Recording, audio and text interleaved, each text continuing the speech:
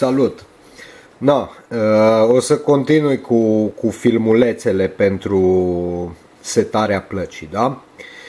Uh, prima chestie de setare pe care ți-o uh, arăt în filmulețul ăsta este setarea orei curente și a celor 4 ore când urmează să se trimită SMS-urile.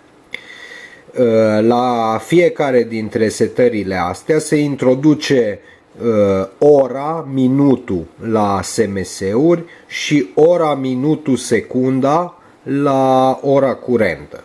Poate că secunda nu era neapărat necesară, dar na, am zis să fie mai, mai precisă Uh, mă rog, trimiterea SMS-urile. SMS-urile întotdeauna se trimit când ora și minutul coincid și uh, asta înseamnă că se trimit la secunda 0 a orei setate. Da? Acum, foarte important, dacă la un SMS din cele patru și ora și minutul au valoarea 0, atunci acel SMS nu se trimite. Deci asta, din păcate, înseamnă că nu se va putea niciodată trimite un SMS fix la ora 12 noaptea. Dar am considerat că oricum nu e cazul la un cântar apicol să trimiți SMS-ul la 12 noaptea, iar dacă chiar trebuie să trimiți noaptea, poți să setezi ora 0 și 1 minut sau orice mai puțin 00. Da?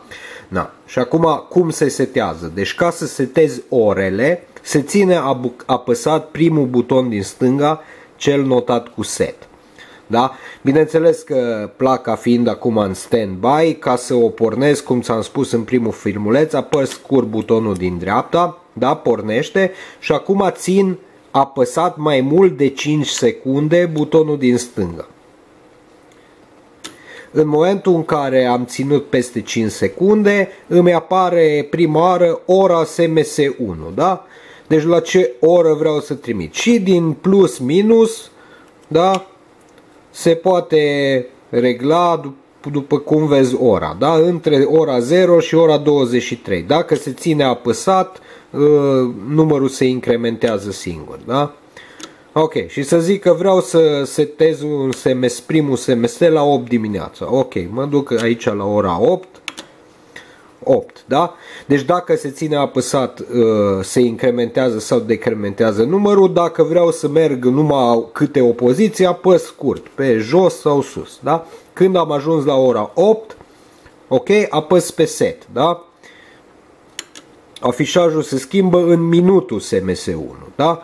Să zicem că vreau la 8 și 10 dimineața, ok, fie apăs de 10 ori scurt, fie țin apăsat până 9, 10, da? Deci, ora am setat la 8, minutul la 10. Ăsta e SMS1, apăs pe set, da? Merge la SMS2, iară, ora SMS2, dacă mai apăs o dată, minutul SMS2. Ora SMS3, minutul SMS3. Da? Ora SMS4, minutul SMS4. Încă o dată, oricare SMS nu vreau să se trimită, pun și ora și minutul pe, pe 0. Și atunci acel SMS nu o să se trimită. Da?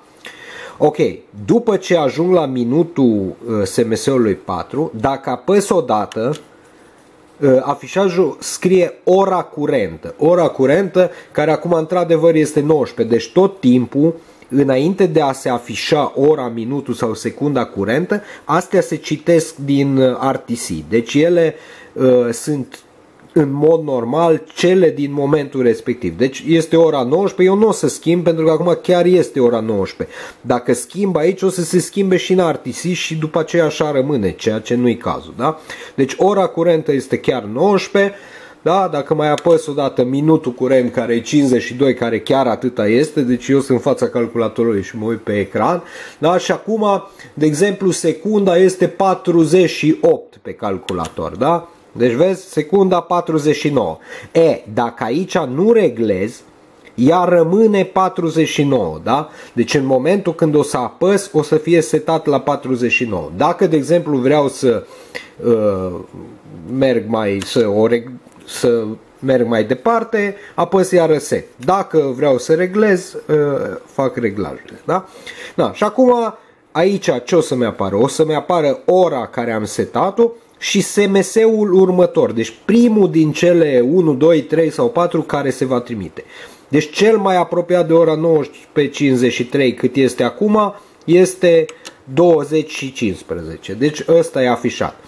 După ce se va trimite SMS-ul ăsta la 20 și 15, o să se afișeze următorul din, uh, din cele patru, care, care e cel mai apropiat tot timpul de ora curentă.